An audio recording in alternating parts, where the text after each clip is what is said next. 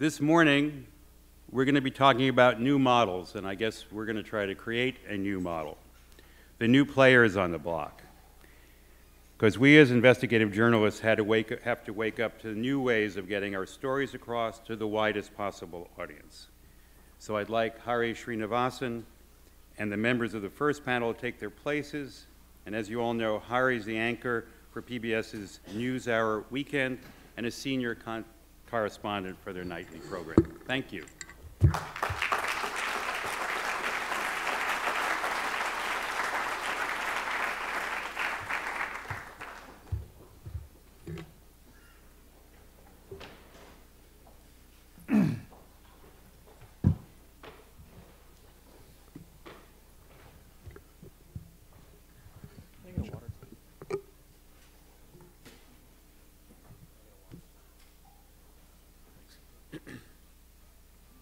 So we've got, uh, I think, an interesting conversation that can happen here. We've got two representatives who are in the middle of this four. I'll introduce them all in a bit.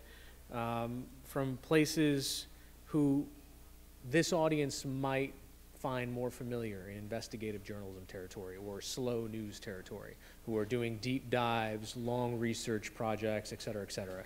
The bulk of their employees are geared in that direction.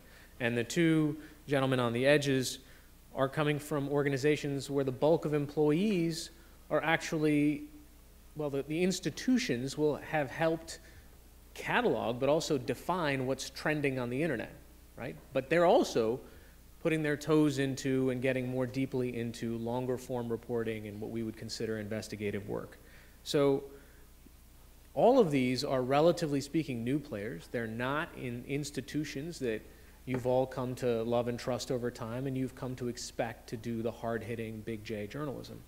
And so, what I'd like to do in this conversation is poke a little bit at what it is that these players do to tackle both the creation of content and stories as well as the distribution and then what are some of the trade-offs that they have to do in the process and then we'll open it up to questions as well because uh, i'm sure collectively are much smarter than I am. So um, let me go ahead and introduce them. Uh, first,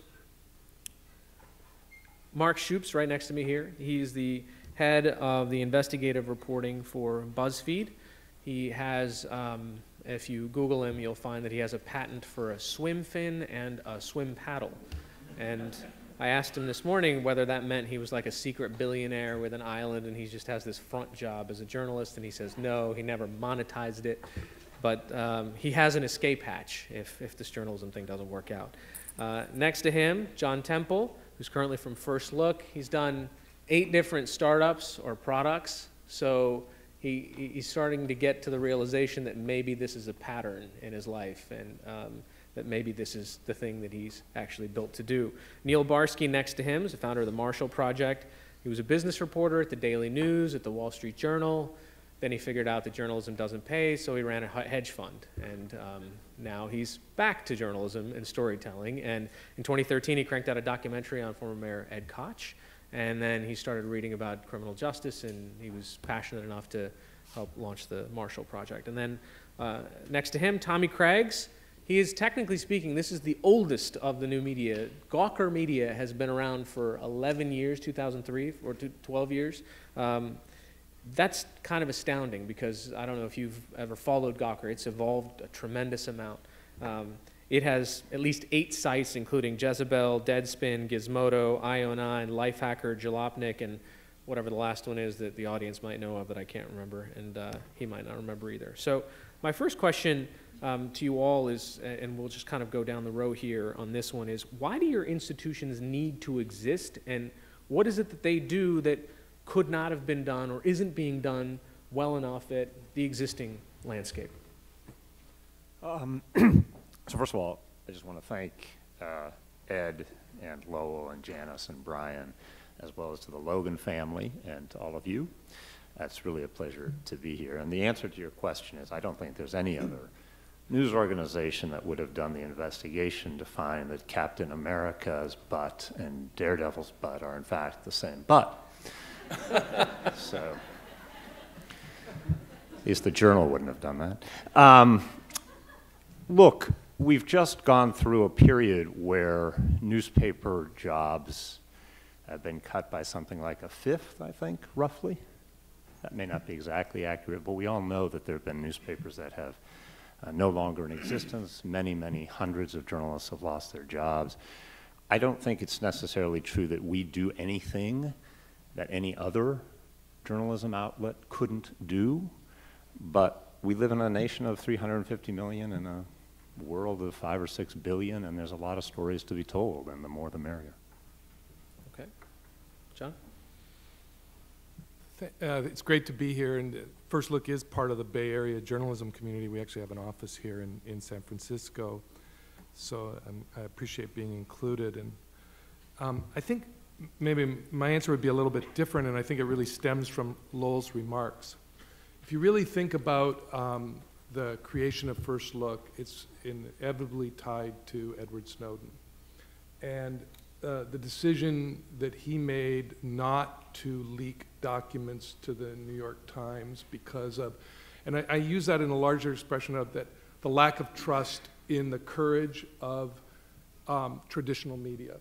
Uh, and the decision that, that those, you know, that even the Washington Post reporter, he really wasn't a Washington Post reporter, Barton Gellman had been a Washington Post reporter, uh, but he really approached Laura Poitras to get to Glenn Greenwald.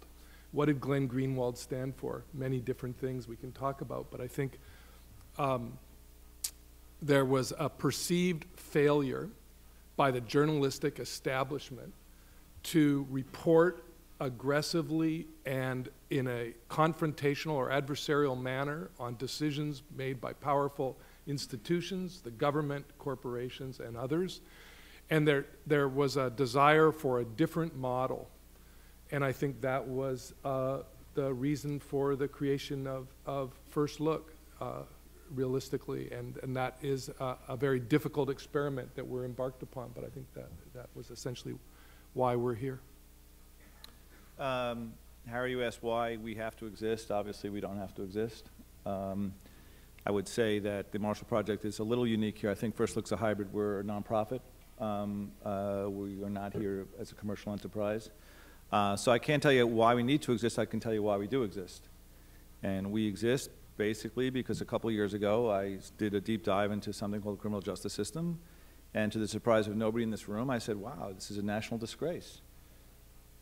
But what hit me was not so much that it was a broken system or an ineffective system or a racist system, but what hit me really was here was an issue that had been so bad for so long in our country that there was a national complacency. This was two years ago that I felt was incredible. You run for president, you have to have a position on immigration, on Putin, on the Middle East, but you can't have a position on mass incarceration. In fact, it was almost an unspeakable uh, uh, uh, subject. Uh, my background, my DNA is in journalism.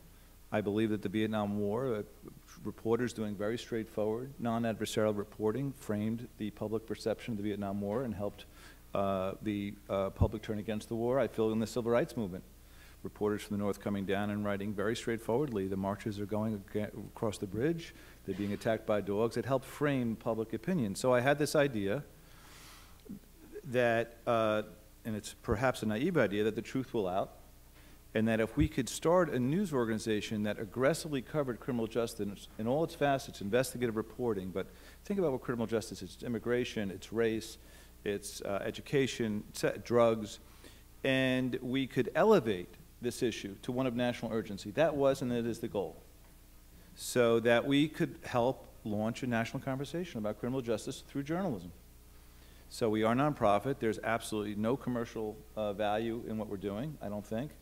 Um, and like a lot of organizations this room, we've been dependent on the kindness and support of philanthropy. And I think Lowell and uh, uh, uh, CIR and ProPublica have sort of blazed this trail, which have allowed philanthropists to understand or help philanthropists understand the civic good of supporting non-commercial journalism. So the world has changed a lot since we launched. We launched in November. Policing is now becoming a front burner issue, and I think by the 2016 campaign, criminal justice reform, I think slash hope, uh, will become a, uh, a topic of conversation, which it hasn't been in 50 years.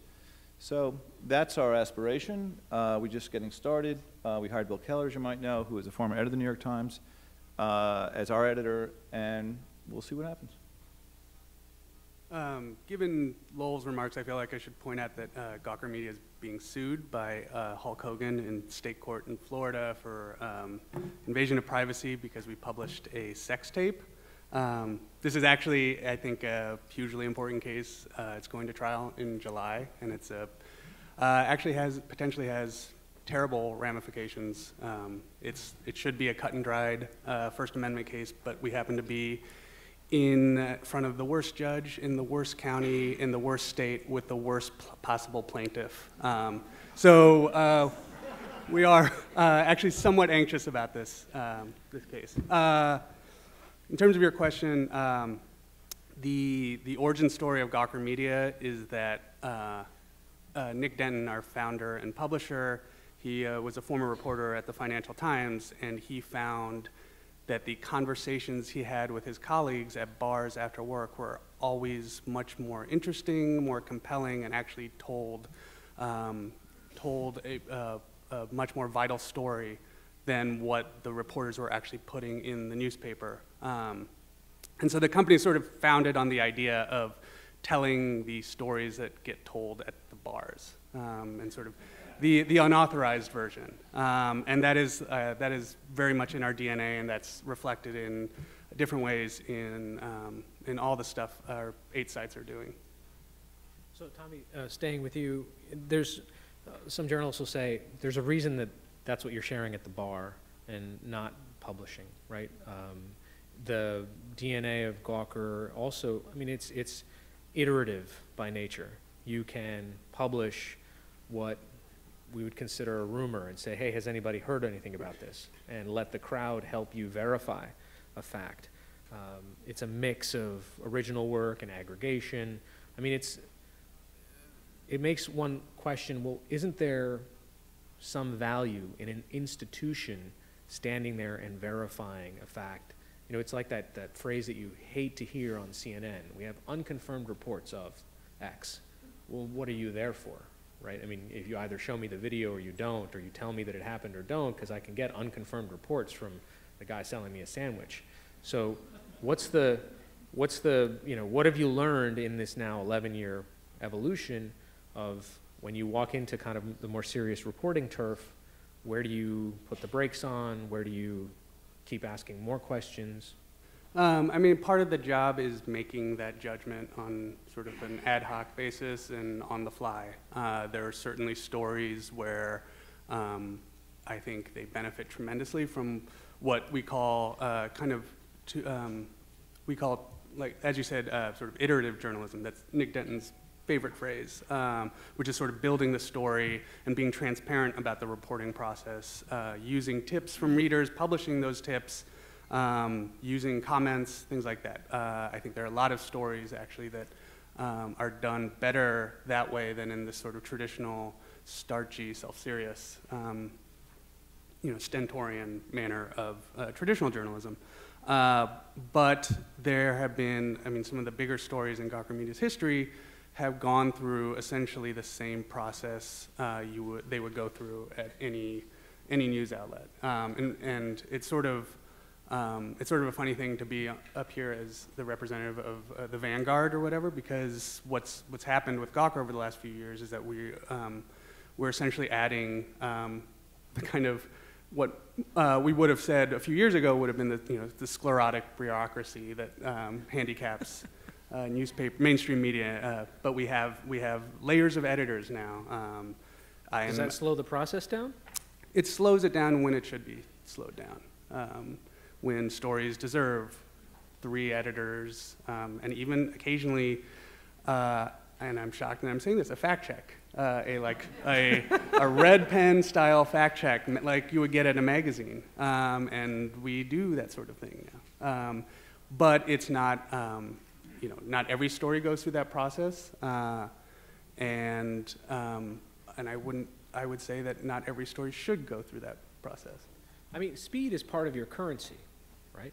In the sense that you can respond faster than the New York Times or the Wall Street Journal will ever do on a particular story. Yeah. So when you have layers of fact checkers or editors, that takes away some of that competitive advantage. Yeah, uh, and I'm a, I'm a former fact checker. I, I was a freelance fact checker at ESPN the magazine, and I understand the value. I also saw um, just the ways um, that it, it, I thought, needlessly slowed things down and um, kind of filed some of the edges off of stories that should have those edges.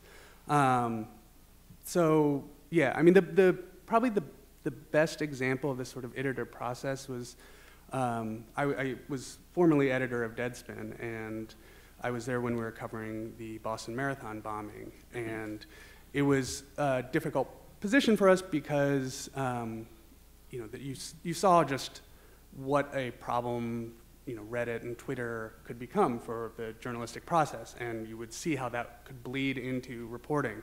And so the job actually became more of a curatorial one, and learning, um, you know, what information to throw into that post that's being regularly updated, and uh, which Twitter accounts to avoid. Uh, and I actually thought that was because everybody was following that through Twitter. I thought we were doing a service, say, okay, this is this stuff from just anything you're seeing from a police scanner, just don't trust it. This, it's, you know, um, Twitter had this like weird amplification effect uh, with a lot of the garbage that was just going across police scanners, uh, and because it had this patina of authority coming from a scanner, uh, it was being blasted out there, and people were taking it as gospel. Uh, and so, I thought we played a um, pretty important role in kind of sifting through that um, and not putting up the garbage, things like that. Uh, Mark, um, so how, I mean, I- I guess there's a couple questions that I have. Uh, One maybe, since he brought up the Boston uh, bombers, I mean, one of the things that we remember from that tragedy is the rush to publish uh, actually got the wrong person indicted in the court of public opinion. It was uh, an Indian kid in, in Massachusetts that had gone missing, et cetera. His family had to deal with um, sort of a, a double trauma. Um, so how do you, you know, lay down the kind of editorial standards to say, on a situation like this where speed is something that we have as an advantage, we still need to dot our i's and cross our t's? So I'd actually back up. I don't actually think that BuzzFeed or Gawker has any advantage over any other news organization. Every organization now is on the web, and every organization can be fast. I worked at the Wall Street Journal for 11 years uh, as a foreign correspondent and an investigative reporter for Page One. I never had a fact checker. Every single fact was on my shoulders and my shoulders alone. And when we wanted to act really fast, we could act really fast. So I, I would just say that in today's world, you can be a one-person blogger. I mean, anybody on Twitter, you know, can break news and does break news. So I would, I would take, just simply say that that's one issue.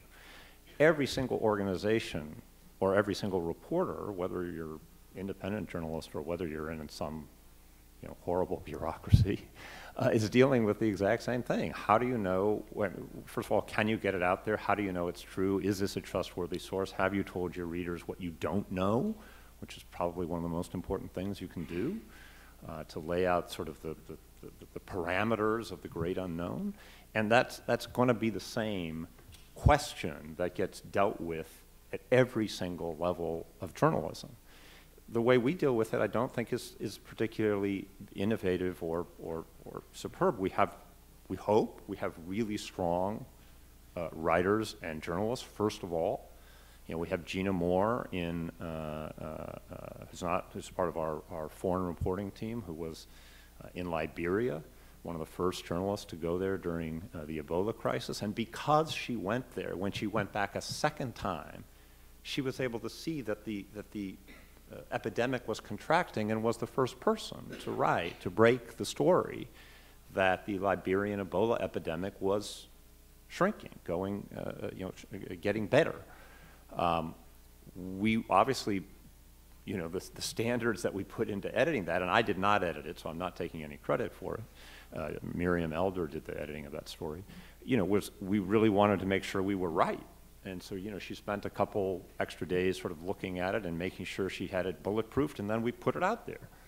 Um, and I think that's depending upon how competitive the story, how big the story, um, you know, the importance of the story, you, you adjust the vetting accor- accordingly. And I think that's pretty true at, at BuzzFeed. For investigative journalism, when we, you know, taking on a large target or under threat of lawsuit or, you know, want to launch a, a major project, it's a pretty long and involved process that's, that I think was covered very well in the, in the panel yesterday on bulletproofing. So, you know, um, you kind of joked at this earlier, and it made me ask. So, even though you have Gina, who's on the ground doing important reporting, you had a fantastic long story. I can't remember the title of it about domestic violence, um, and it was just one of the better things that I've read. And, and those were the examples that popped into my head that said, "Oh, BuzzFeed is actually doing serious journalism," and I didn't know that until the stories spoke to me, right? But you go to the cover of BuzzFeed today, and along with the Nepal quake, you've got 27 Kardashian selfies for every occasion. So how do you kind of lobby for or get the resources necessary to make sure that your content is seen by, I mean, because you're competing even in the BuzzFeed ecosystem to say, look, this is a really good story. This might not have the clickability that the Kardashian selfie story has, but we've put some effort into it. Give it the, you know, are you, are you in conversation with like the equivalent of the A1 editor saying this has got to be above the fold? So one, of- a couple of things. First of all, my, my, my favorite of those is 33 animals who are extremely disappointed in you. um, I, I also have to say, you know, I've, I've, I've, I've been around. I worked in several different news organizations, and I've never, ever had as much fun as I'm having at BuzzFeed. It is just a blast. Um, so, first of all, we never have had to fight for resources. We've never had to fight for space. I have never said no to a travel uh, uh, request. I was hired with a promise to have six people. There are now 17 people on the investigative team. And each of those are exceptional in any newsroom.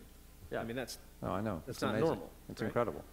Uh, we're on three continents, just the investigative team. Uh, worldwide, BuzzFeed is now on every continent except Antarctica.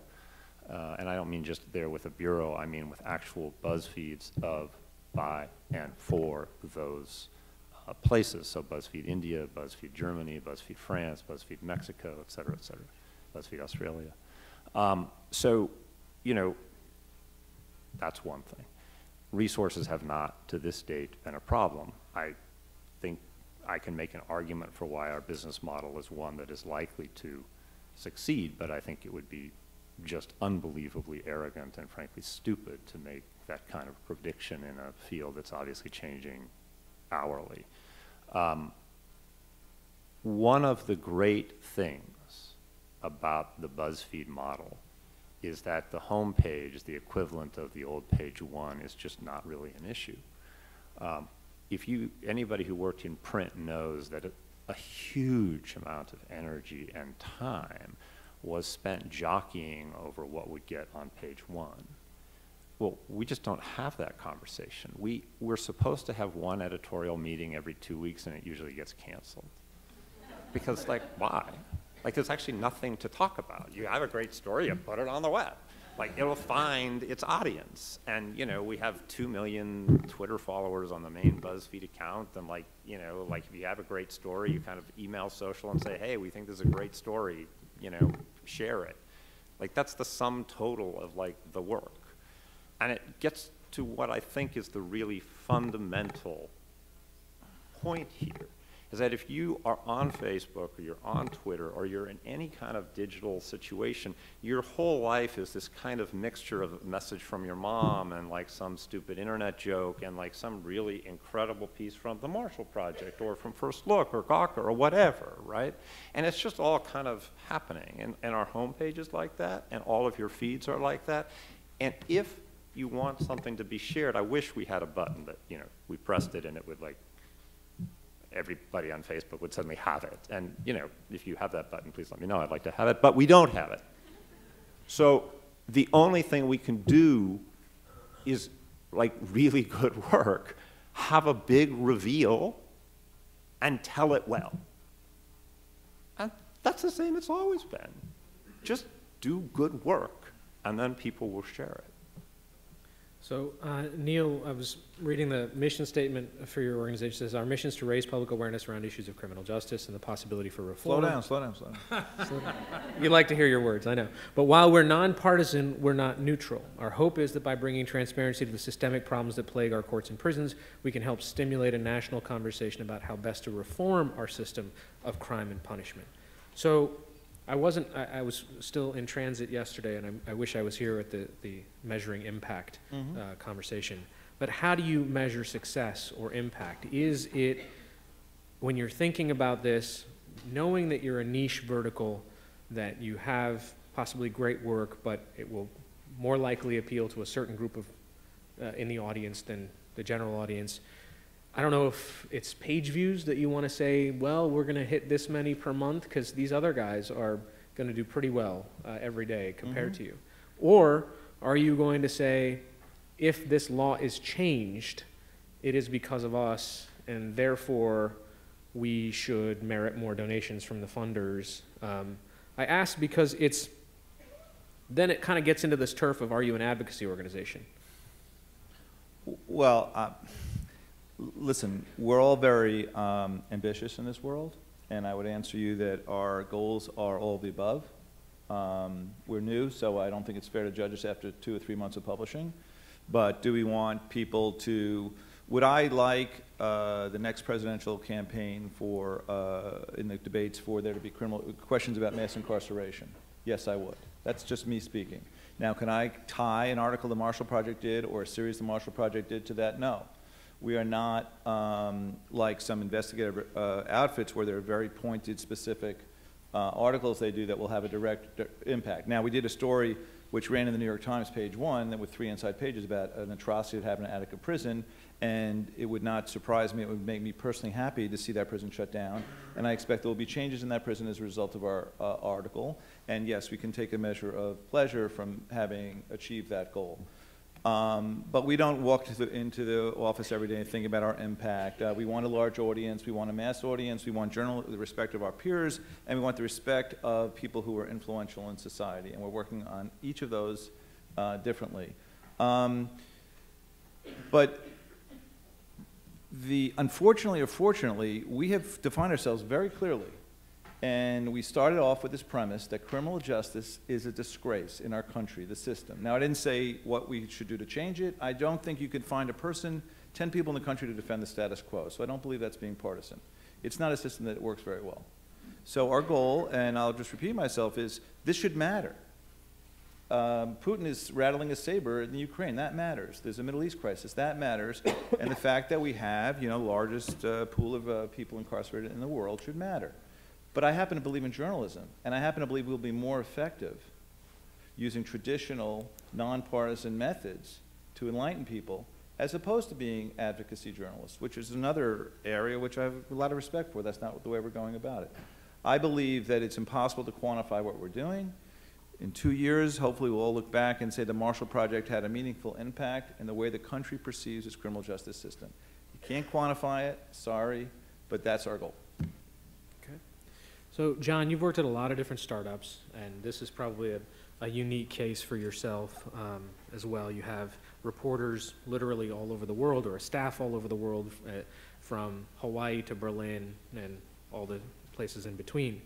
Um, but you, there was also a strategy to bring in some super brands, some reporters who had their own followings, who they had passionate voices, they had audiences, um, and it's led to you know, Vanity Fair articles that say the unmanageables, or can they do any stories that are not about themselves?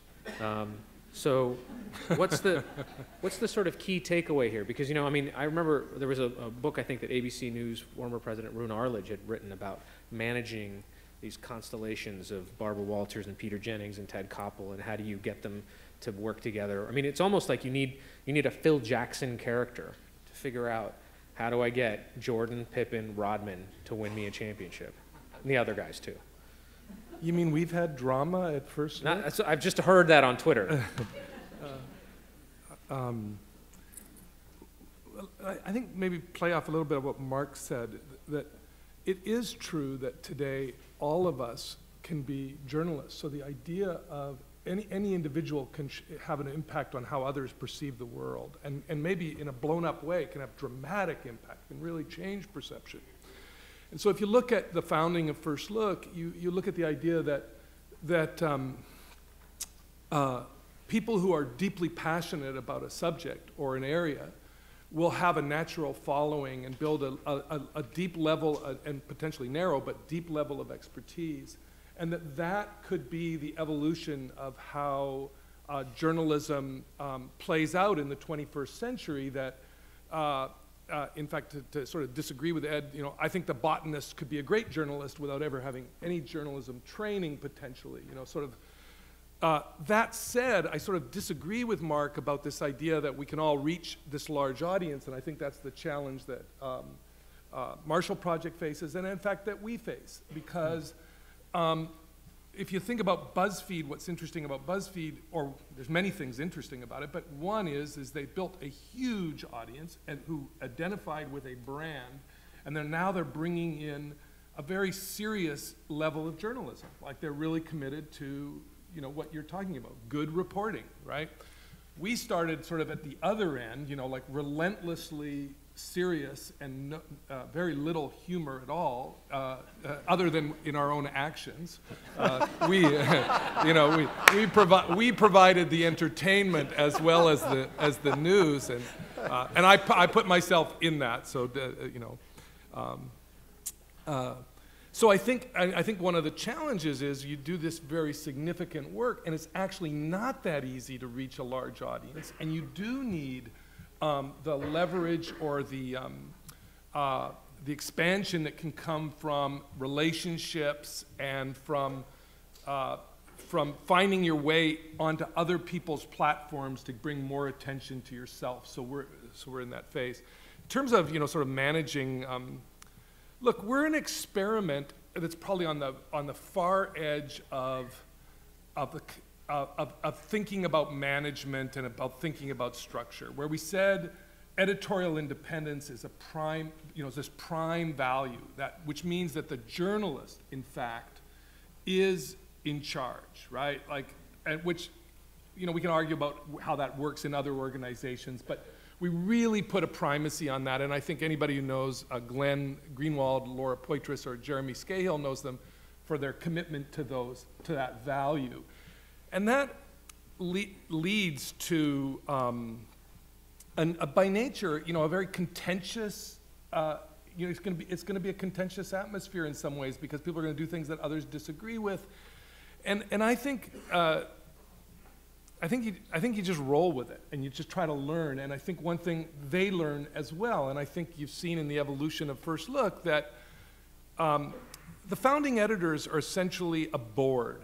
They're a board for The Intercept. They're the board of directors. And they've basically, um, so, you know, picked, like, who do they want to work with as their editor? But there's a kind of common understanding. And so today we have an editor where there's some stability that's developing on the site, and there's tremendous freedom for them to develop the site as they see fit without potentially ever reaching this massive audience um, that is difficult to reach. So I don't know if I've answered your question, but it, it, it, it's, a, it's a complicated mix that we're. I mean, Nextview is another startup, and he has far less drama in managing his 20 people, right? So, is there something after this period of experimentation that you've learned that say, maybe we should give them some personality tests before they Myers Briggs? Well, I think I think um, yeah that that um, I think it goes back in a way to what Mark was describing. Mark's perspective about do good work and the good things will happen, that's sort of a fundamental from the journalistic perspective.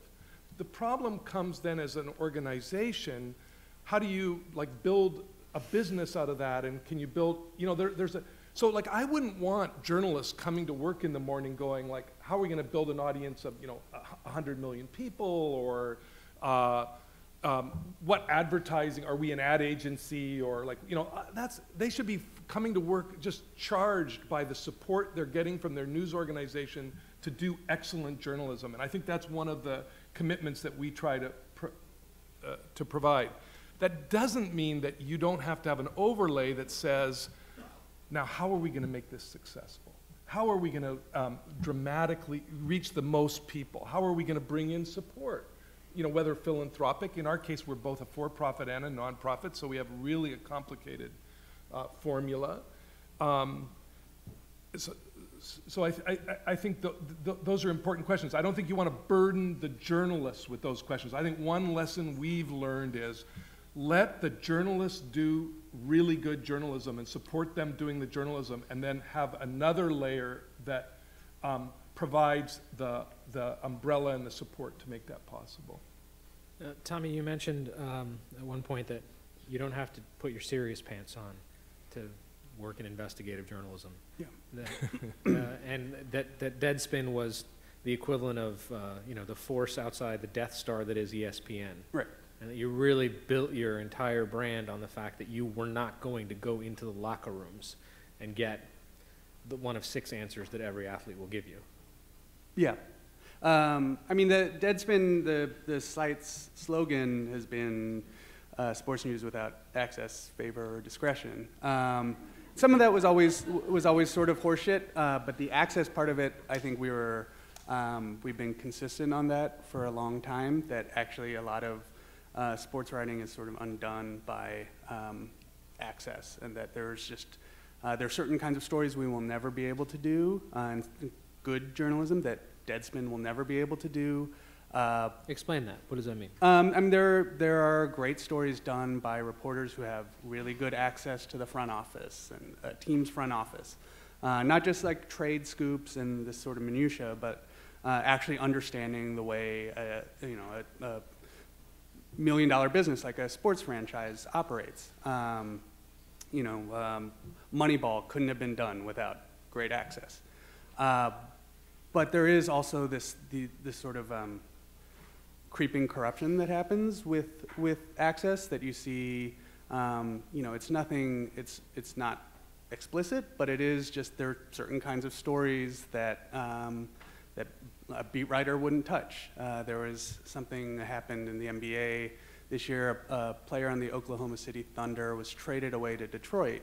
And the day after the trade, you saw this story on ESPN.com that was like, it was the notebook dump from the past three months where uh, locker room squabbles and just uh, sort of um, internal conflicts, all that stuff that had been going on that the reporter had obviously known about for a long time, uh, only after the player was gone did he feel free, and only at the point where the franchise was happy to have this stuff out there uh, did he feel free to publish it. Um, and that's, you know, I feel like that is antithetical to, um, to journalism, and I understand that there's a lot of uh, realpolitik with covering any kind of beat, and uh, you know, you have to stroke certain sources and to keep them in your Rolodex. But um, that's not the kind of stuff I ever wanted to do when I got into journalism. It's not the kind of stuff Deadspin ever set out to do. Um, so, uh, yeah, I mean, those, those are just the kind, you know, that's the kind of thing you, w- you would never see on Deadspin, and I think that's a good thing. So, Mark, you consider yourself in many ways more traditional than a traditional shop. You've been able to build a very uh, solid team in a very short amount of time uh, and been able to tackle some really important work. At the same time, this week, again, we're also painted with the brush of our institutions. This week, um, BuzzFeed's public editor in some ways is Gawker. And while these two individuals get along fine, um, the institutions sometimes don't. But there was this incredibly long 45 minute uh, interview with two of BuzzFeed's heads, the editor and the, and the CEO, right? And, and in there was a really kind of a, a, a I thought, a fascinating conversation because you got to see almost, I just read the transcript because you read five times faster than you listen. So I'm reading this transcript and you can almost see their thoughts being formed. And the conversation was about the line between editorial, advertorial, censorship, et cetera. It was all kind of in there. It's kind of a messy conversation, but a traditional shop kind of had that figured out, right? Where that line was in the sand, that we shouldn't delete posts, especially if they involve our advertisers, et cetera. So now that BuzzFeed is in an active kind of conversation, at least internally, about the editorial standards, what sort of input do you have, being the guy who's, for relatively speaking, the big J journalist in the room?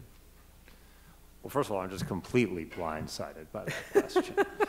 Um, But I do happen to have all my notes on it here, so. um, I want to thank Gawker for being our volunteer ombudsman. That was like great. Um, So, so a couple of things. First of all, uh, just to set some things straight, uh, the two posts that Ben deleted were not deleted because of advertiser pressure. Uh, They're deleted because we've been having this internal conversation of the role of opinion at BuzzFeed, which is, and I'll talk about this, more complicated at BuzzFeed than it is at, say, ProPublica, where I worked for two years. Um, And Ben deleted those posts in complete contradiction to our new standards and ethics guide, which created, shall we say, an internal conversation. Um, So, uh, and then we did a review of every single post that had been deleted. Uh, I actually have the results of that review here. I think it's Are we breaking some news? 1,112 posts that had been deleted since we started doing news in January 1, 2012. The vast majority of those were like, we had a glitch for a long time where the editor's byline was in the URL instead of the writer's byline, and so all of those posts got, I mean, there's, most of them were just ridiculous, but there were three cases that involved um, an advertiser, and I, I won't go into them unless you want me to go into them, but they were not, the advertiser was upset because we wrote about, you know, Pintos blowing up when you hit them from behind. They were things like an advertiser, I think it was Axe, was upset that one of our posts had, you know, claimed that they were inciting worldwide rape, which, I mean, maybe that's freedom of speech, I don't know. It's a debate. So um, what I will tell you is that having uh, edited pieces in which to refer to Lowell's uh, talk, where people with very deep pockets and a lot of power threatened to sue us, and not just publicly, but through all the other ways that people with money and power can get their message, not just to me, but to the very top people at BuzzFeed. I can tell you, because I'm in on all of those discussions, that the, the spine of the organization is absolute steel.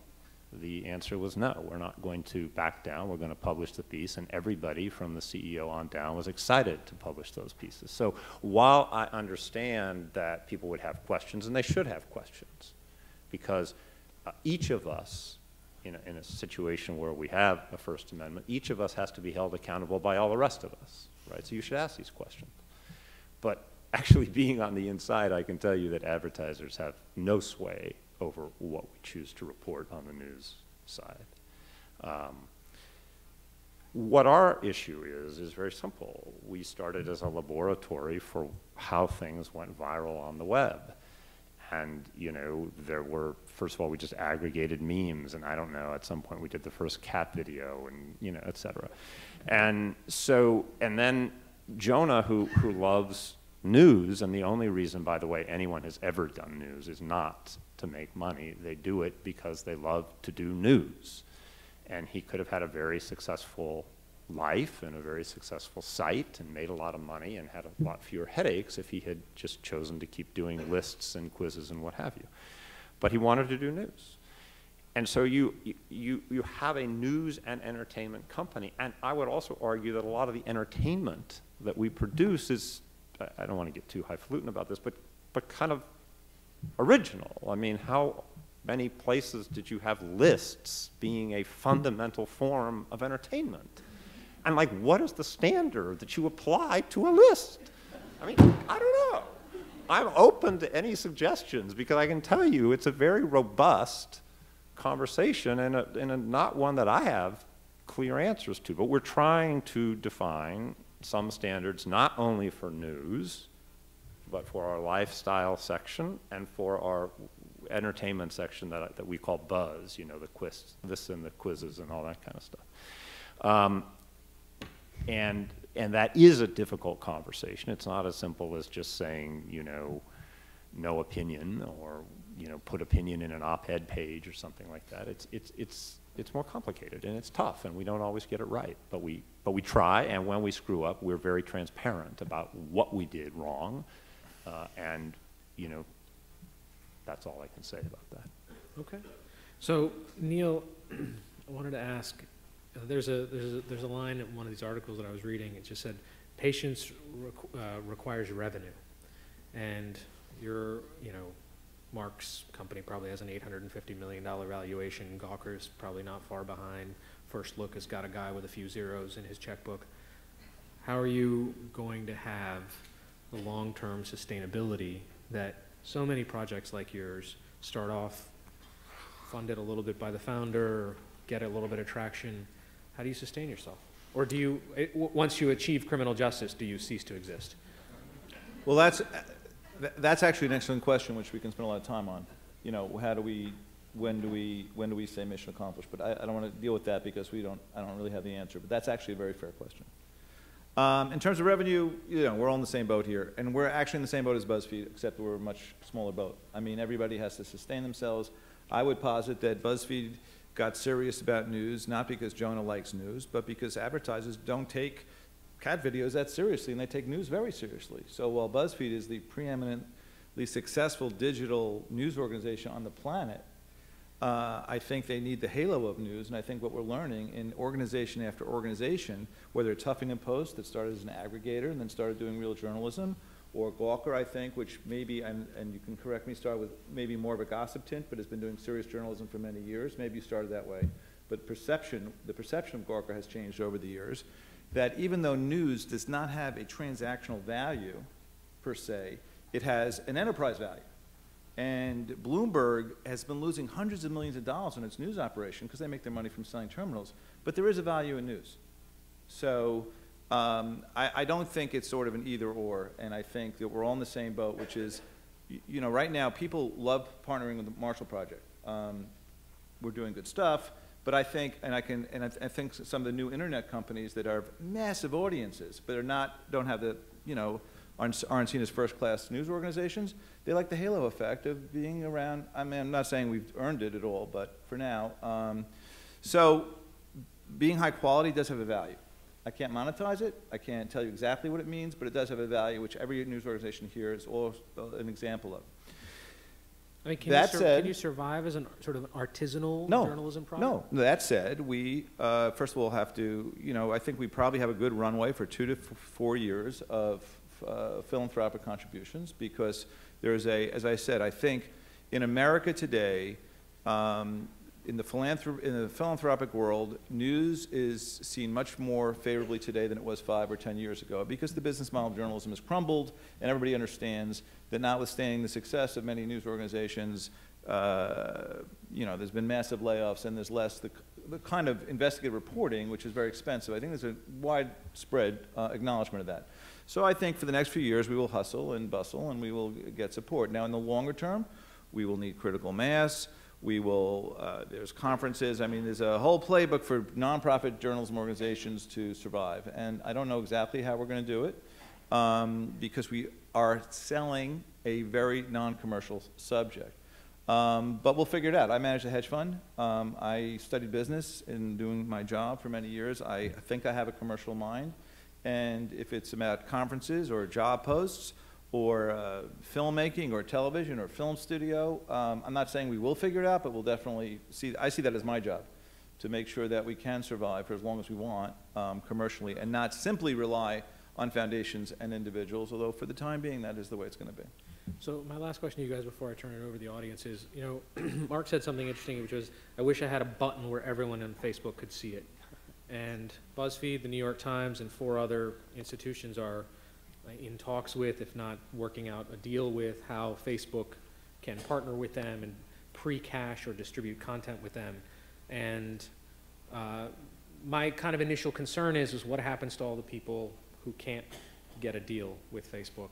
And how are you for institutionally, I mean, BuzzFeed accepted because they will be inside the deal, um, looking at that? Because right now, I kind of see this, you know, that, that we've looked at the net neutrality conversation primarily as fast lanes and slow lanes, but not necessarily uh if all the roads are going through one mall that Facebook has built. or maybe the Walmart comparison is more apropos, what happens to the ecosystem when all of our content is on their platform um, without particularly any assurance that we have access to the information that our audience is generating for them? So on the one hand, you guys all want your content to be shared widely on all these social platforms. On the other hand, are you concerned that your institutional value diminishes and is diluted over time because when you get something on your phone, you might not pay attention to the institution, maybe not even to the reporter who actually did all the hard work. So This is where nonprofit journalism has a competitive advantage, because I don't care.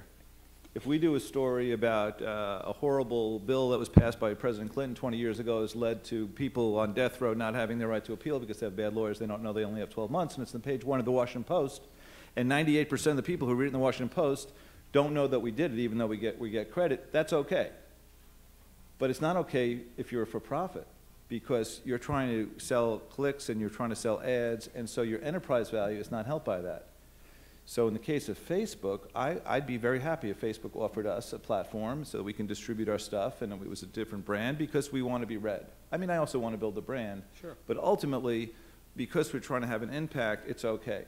But if you're a commercial enterprise and you're doing those deals with Facebook and they're just sucking out some huge percentage of your revenue, I think that's a long-term issue for the publishing world. And that's what the publishing world is struggling with every day because Facebook and Google have hegemony over distribution there, and, and the publishers have ceded it to them. And I think from a business perspective, it's very problematic.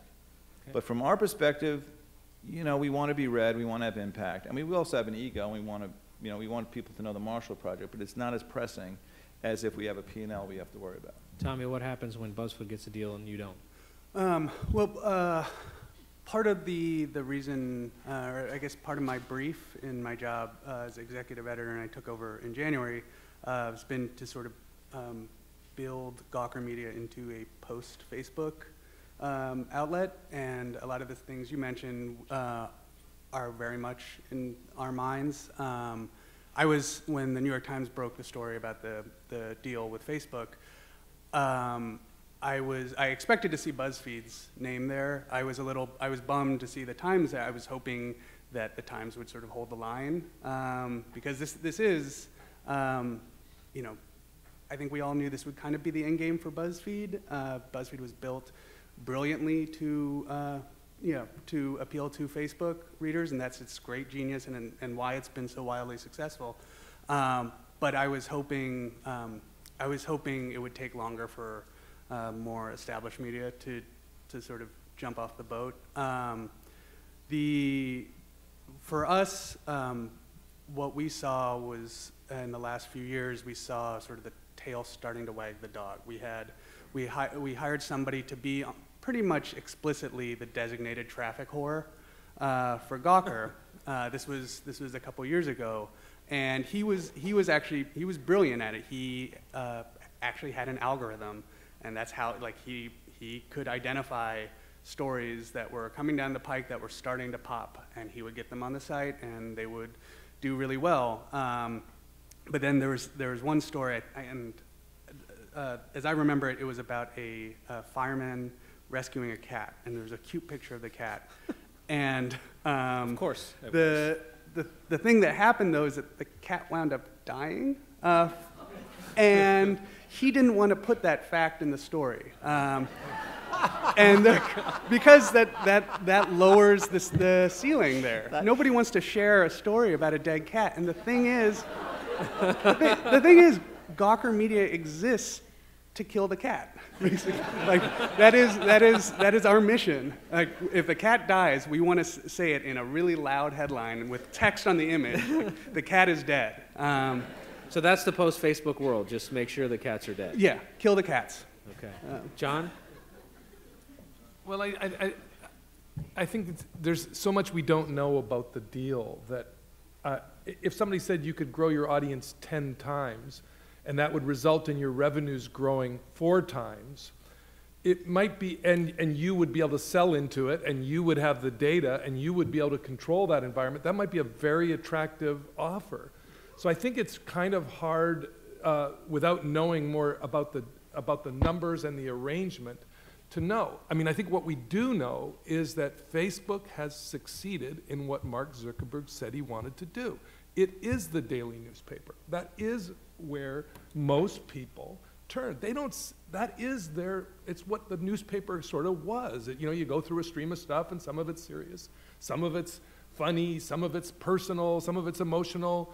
And they've been incredibly successful. And so I can see why it's really compelling. And for small sites, it makes total sense because how many of us have um, clicked on something in Facebook, watched it try to load in mobile, and went away because it's so slow, right? Because poorly funded sites are too slow and they, they don't respond on Facebook, so you just dump them, right? So their content never gets seen. So if you're inside their ecosystem and you're a startup or you're beginning, there's tremendous value to that. And so we'll see what kind of leverage the media companies exert with Facebook. And we, d- we don't know. We don't know what that'll look like. Mark does. Uh, Actually, I don't, um, because there is actually a church-state wall at BuzzFeed, so I don't know the details of this, uh, this reported um, uh, situation. I will, obviously, it's well known that BuzzFeed is, is, has a unit which now creates content that is not uh, meant to first appear on BuzzFeed.com. It's called BFF. Don't ask me why. Um, and it's meant to appear on different social media sites. So we've been thinking about this, you know, long before the Facebook thing came.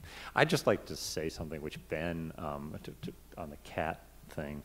Uh, ben, our editor in chief, uh, used to work at the Daily News, and he had an editor. Like, so, like, if, if he had like a really great story, his his editor would say, "Now, now, don't over-report that." Okay, So don't over-report the cat. on that note, I It think wasn't a Rolling Stone editor, was it? No. Oh, oh! Investigative journalism jokes. great. All right. Uh, we have two mics, I think, on the sides. If you want to stick your hand up, uh, two things I ask: what, what your name is and what institution you're with or representing, or what made you come to this conference, maybe before you get to your question. So I don't know where the mics are. There's one, and there's the other. Okay. Really? This is a room full of journalists? Okay, thank you. In the back. Hi, um, I'm Jeremy, and I, um, I teach here at the, at the J School. Um, Lowell said something really interesting about the transition from print to broadcast and how the emphasis on audio, and he learned how audio is important. Kind of acknowledging like the, the, the story form is adapted to the medium in which it's told. And I'm kind of curious about um, Mark, you know, going from, from print to sort of a digital native publication. How do the mechanics of the, of the story is it, is it uh, is it very similar to a, a print story? How, do, how, how does story form change when you're writing specifically for like a digital native or even a mobile native kind of publication? So uh, I first went from print to digital when I went from the Wall Street Journal to ProPublica, uh, and then I went from ProPublica to BuzzFeed. Um, and I, I guess I would say two things. I, I don't think fundamentally that there's a huge difference in how you tell stories, but I will say that the greatest danger of the web is that there's no length limit. And the best medicine for a troubled piece is length deprivation. Um, so I would just bear that in mind. The second thing is that we found, kind of through an experiment, uh, that at least for us, I'm, not saying this is true for everybody, at least for us, the nut graph turns out to actually be really important. Um, we had a piece by a really talented writer that was brilliantly reported, great story, which he wanted to. It's not not I didn't edit it, but it was ran in our long form section. He wanted it to unfold like a movie, so of course it could not have a nut graph. And it's a great piece, and you know, I don't know, it didn't it didn't do for us. It didn't do that well, and I think it would have done really well had he had that more traditional. Why are you reading this paragraph in there? And so I do spend a lot of time thinking about that, and I also spend a lot of time thinking about if we even need an anecdotal lead, and if we do, do we really have enough to, to support it? Um, so those are some thoughts that I, that I have. But fundamentally, I don't think it's that different between um, print and uh, digital for long form. It's a different question when you want to talk about breaking news. Yes. Oh, hi.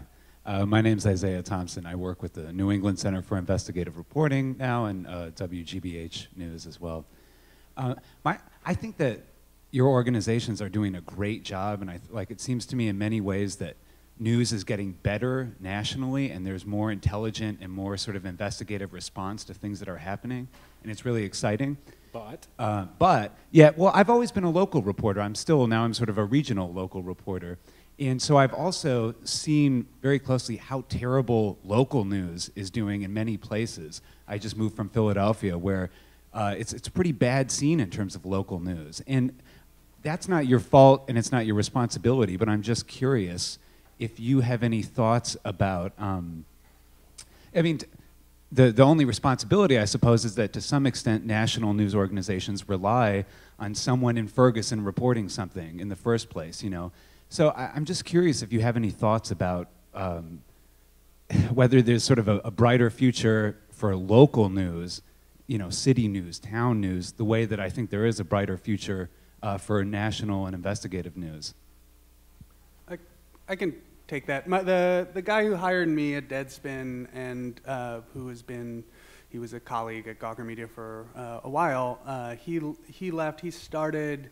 It's called Ratter. Uh, it's kind of a um, patch for shitbags, is how I might describe it. Uh, but it's it's sort of uh, it's it's founded on the idea, basi- on on essentially the um, uh, what you described that there is there has been um, you know this degradation of local coverage, and what inspired him to do this actually was the Rob Ford story in Toronto and the way he went around.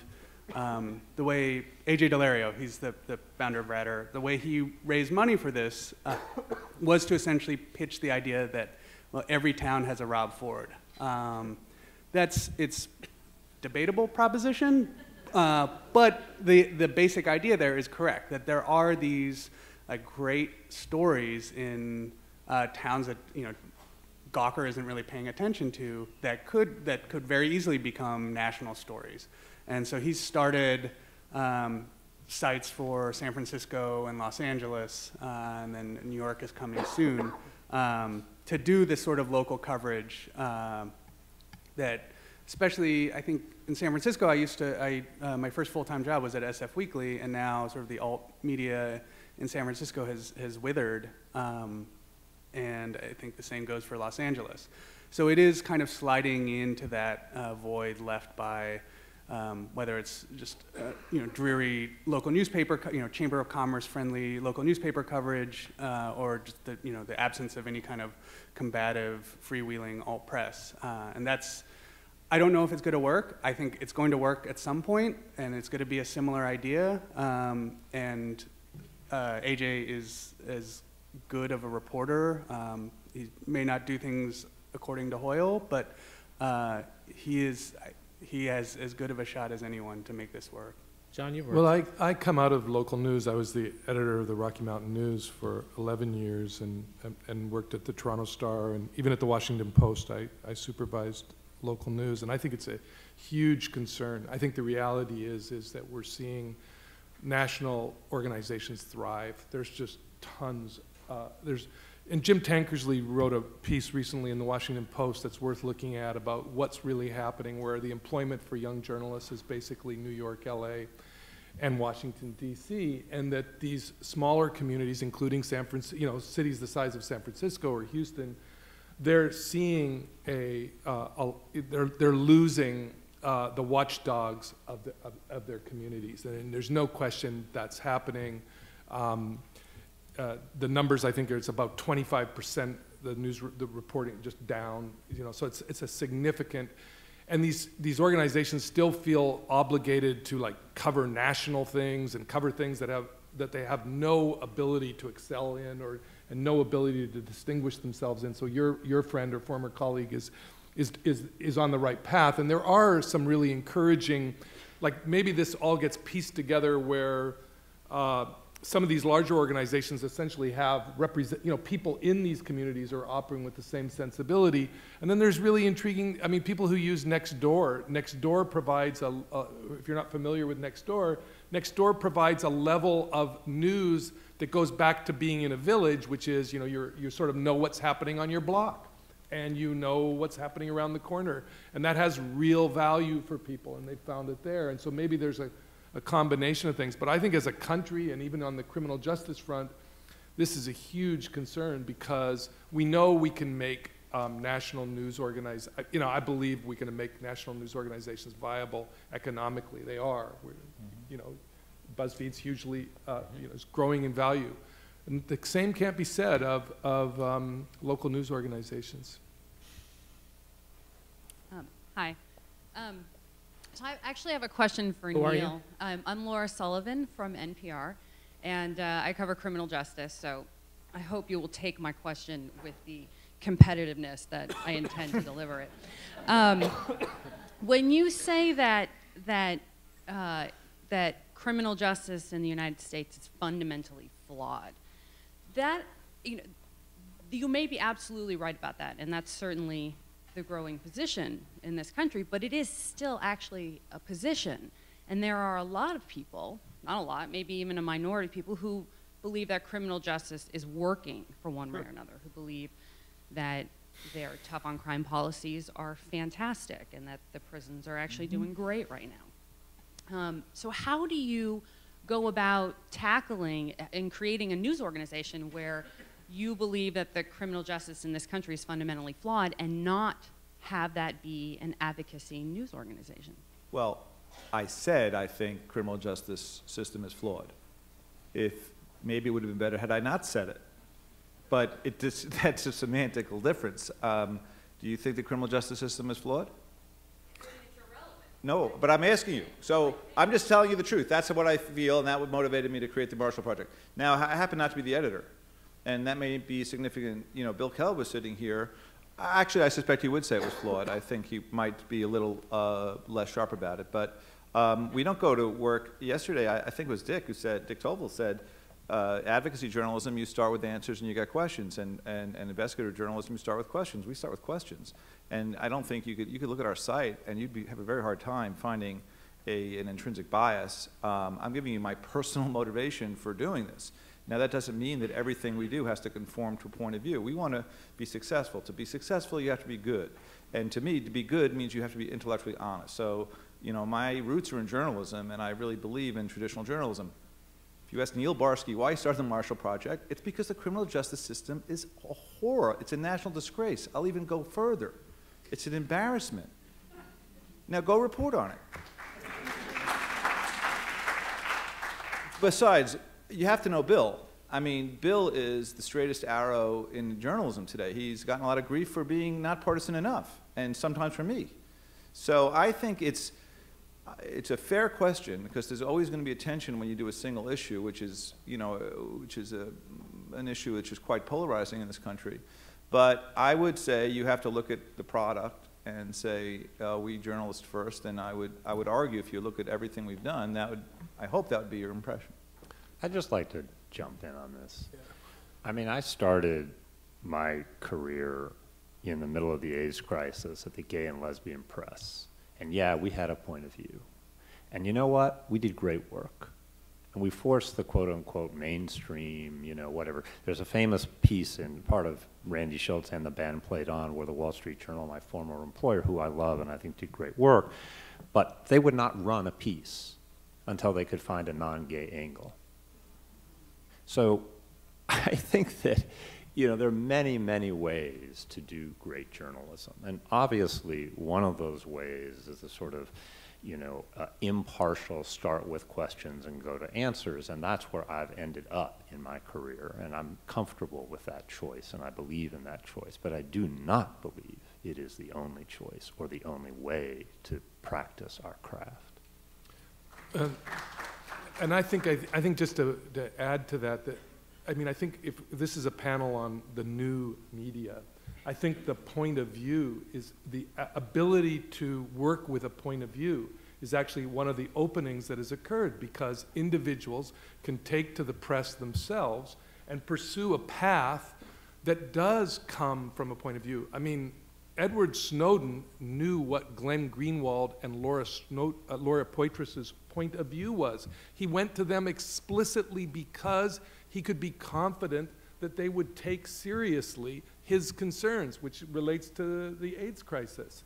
And so um, I think we're so much better for having that as part of our vocabulary today than when the press was controlled by, and I don't believe in a golden age, by, by a bunch of really rich people who, who had their own um, concerns about uh, what they wanted to do with it. So I, I think look, we're I better mean, off with point you're- of view. you're- you're- you- I'm owned, but Yeah, so- you're owned by a really rich guy. uh, We are, but, but we, And we are, but we're, we're, um, but we're cast in a different, we're cast where the commitment of that person is not to have them do what he wants or to limit them, but to provide a platform for them to be able to be successful in a way that they couldn't be otherwise because they, wouldn't be supported by traditional media. And, and readers are smart. Like, they- that's a really slippery slope, though, because if, if people go to the Marshall Project or they go to a specific site, because they understand that that site has a point of view of the justice squad, then it will, without, I mean, it will, it takes away some punch of the impact of the journalism, which I will agree with you, at the Marshall Project, is fantastic. And I think that you would see, over the course of stories that other news are, same kind of thing that may be driving some If it's possible, I spoke personally about my view of the, okay. Right, and there's another- Take it outside. But there's no organization that doesn't have an opinion. I'm sorry, that's just ridiculous. And, and something else, readers are not, readers are not, they're not naive. So InsideClimate News, for example. They can, but they can, they, they can read a piece and they can evaluate that story. There's now so much media, thank God. I mean, the, I mean, hmm. the great, I mean, I don't want to get you know, teary-eyed or anything, but I love my country because it has a First Amendment, and there's tons of people saying whatever they want to say, and people like have become pretty good at sifting those things. Okay, this guy's got a point of view, but he's also kind of got a point because look at this reporting, or, or you know, that that person over there, you know, I mean. And they understand that the Times has its, you know, way of doing things, NPR has its way of doing things, et cetera, et cetera, et cetera. So I don't think that I would not want to see NPR or the New York Times change. I really wouldn't. I don't want them to become quote unquote advocacy journalism like I used to practice. I also don't want to see those uh, uh, organizations with a point of view change because they will get stories. They will get stories that the mainstream press will not. And they will get them first, and they will get them with more passion, and they will bring them to the public discussion. And that's true on the, you know, the left or the right or what have you. So I just don't think it's an either or, and I think readers are smart, and they can assess and make their own decisions as to what to read and what to believe and how much of each thing to believe.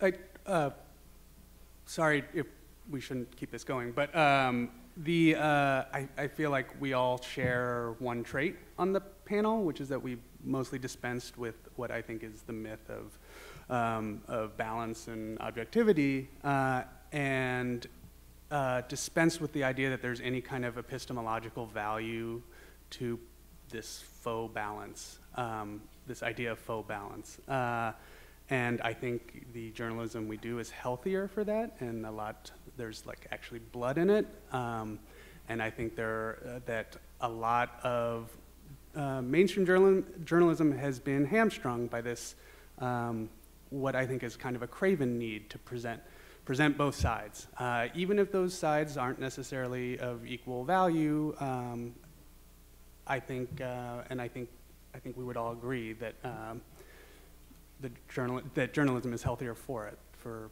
uh, dispensing with this myth. But Uh, Microphone, Well- where'd they go? Yeah, here. Hey, um, Joaquin from the Center for Investigative Reporting. Um, it- you know, if you go back over the last 40 years that we've been using the term new media, it actually is more homogenous than old media. Uh, it tends to be more white and more male. So I just love the panelists to say how diverse are your, is your staff and how many women are in leadership? That seems like a large general. Uh, I, I think The Intercept is actually kind of fascinating for that. I mean, um, the editor of The Intercept is a woman, the managing editor is a woman, the media council, the general counsel is a woman, the research director is a woman, the national security editor is a woman. I mean, you know, there's different people in different organizations, and I, I agree with you, that's really an important issue, but there's, it comes down to very specific cases. So we've published all this, and you can look at our latest data, uh, and we have a, I think we're, we're certainly doing better than most places that I've worked at. We're not doing good enough, but we're doing, I think, somewhat better. Uh, I think it's a particular problem in investigative reporting. Uh, I chaired uh, and then, then was a, a, member of the jury at the Pulitzers this year and then the, the year before. And I was really shocked at, at, I was not shocked at how white it was, but I was shocked at how male it was because that had not been my experience, for example, at the Wall Street Journal where Paul Steiger, I think one of his legacies is hiring and promoting women so that the, the newsroom was very integrated on gender. Um, but it's a real problem. And so one of the things, in addition to, to making real efforts to increase the pool of people from which we choose uh, who to hire, um, is we created a, uh, a, a, a, fellowship um, uh, together with Columbia University. Uh, and we have our first person who's absolutely amazing. Uh, she is doing great work uh, for people of diverse backgrounds. And it's, you know, it's one thing that we're doing, uh, among many others. And we publish our diversity stats on a regular basis. And uh, if you want a link, I'm happy to send it to you. Neil? Uh, it's a huge issue. It's a huge issue for the Marshall Project. Um, I'll answer it as straightforwardly as I can. Out of 29, as of this Monday, 29 full-time people, uh, six are black. Uh, it's heavily skewed toward men at the top the top three editors who are there now. Uh, one is a woman. Uh, it's a source of uh, endless internal conversation, um, and it probably will ever be thus. Um, I assume that every news organization's had similar conversations. I think the imperative is greater for the Marshall Project than most news organizations because what we cover. Uh, so I'm not happy with the status quo, but that's the status quo. Um, we are uh, very white and very male at the top level. Um, there are three, three editors, um, site leads, uh, we call them, three female site leads. But other than that, we uh, tend to be uh, a lot wider and a lot more male than I think our, um, our coverage might indicate and uh, sort of our, our um, political sympathies. Uh, it's, a, it's it's a problem. Um, this is something that since I took over, we've been working on. We've been working, talking about fellowships um, as well. Uh, the, uh, yeah, short answer is kind of shitty. And Joaquin, I'm old media, but both my anchors are women. My executive producer is a woman. I'm pretty much run by women. So it's about 1:15. Uh, one more question. So, up there. Does somebody have a mic up there? Yeah, go ahead. Hi, my name is Danny Feingold. I'm the uh, publisher of Capital & Main, which is a, a relatively new online investigative and news publication in California. And our focus, our primary focus, is economic inequality and the decline of the middle class. I'll confess, like Neil, that we do have a point of view. We're against it. Um, my question, though, is, is more about building audience and the way people consume information and news today uh, as we've tried to build our audience, we've had a lot of internal conversations about whether we need to diversify our content, whether we need to cover a much broader range of issues, and also whether we need to lighten our content, have a range of tone and format, with the idea that you seduce the audience into reading about an issue that they don't necessarily want to, out of the gate, read about, or whether we should just double down on this topic and figure that really strong investigative journalism on an issue that we feel is one of the defining topics of our generation and will continue to be will find an audience. And I'm just curious, with a range of folks at the table, how you see that. Um, I feel your pain. I think that when you're a narrowly focused news organization with limited budget, which many of us are, um, and, and, you know, getting a native audience is invariably disappointing. I, d- I don't want to belabor this point, but I have to say this. The Marshall Project and Neil Barsky are not the same person. I started the Marshall Project because I think the criminal justice system is flawed. I believe the Marshall Project takes itself incredibly seriously as being um, in, from the real traditional mold of uh, reporting, and I don't want uh, to let my personal views uh, be confused with the mission Marshall Project. The whole premise was that traditional reporting is actually revolutionary, and that's what we do. So I don't want to I don't want to dominate the discussion, but um, it was a very fair question. But I think uh, I, I'd like you to just look at the site and see whether or not we have a point of view. I, I think Bill would. Um, and we have a reporter in the room, Corey Johnson, who would probably agree with me. Uh, Bill would not be happy uh, to think that the bill, that the Marshall Project is journalism with a point of view. I think it's a real truth-seeking uh, organization, I'll let the readers decide whether uh, we meet our goal. In, in response to your question, you know, I've thought about this a lot because I've struggled, but I, I really think it starts, the, the premise of a site is where your problem starts because you're not, you, that's not how people are consuming you anymore anyway. And so, like, forget it. Like, you're not a site, you're, you're a name that is found um, in this kind of multidimensional world, and, and you only can excel at your size in like one or two things. So, you want to be known for something, I think. And, and so, I would really encourage you to think about your whole strategy being a way to control your content or at least, at least be able to earn from your content, if, you're thinking about your economic model, where it's not dependent on people coming to you. It's dependent on wherever they find it, that there's a return for you or a benefit to you, either through your benefactors, your supporters, or through advertising or some other model. But the minute you try to do all things, you, by, you inevitably dilute your core because you don't have the resources that we used to have at a major newspaper where you could have somebody that specialized in you know outdoors and you could have somebody who specialized in you know kids sports and all those kind that just doesn't exist when you're so i think you want to be really known and good at something to start with. And I just would add one other thing is you, you mentioned sort of, you know, having some light fare to sort of, you know, seduce people into eating their broccoli. Um, and I really, really urge you not to do that. Um, we don't look at the entertainment we do as like a lure to get people to read the news. We look at it as like really great entertainment that will make people smile on what might be a difficult day or whatever. Um, I really, really want to publish the first investigative list. Um, I have resisted that because I'm not funny uh, and because we're going to wait until we have the right content to do that. Um, so just like, don't try to be funny. just do the stuff that you do really well. And I agree with what you said. Well, and the other thing is, is you know, I think Andrew Sullivan really had a, a nice way about it. Like, one of the benefits of, so quote, the new media, that, that we're more human.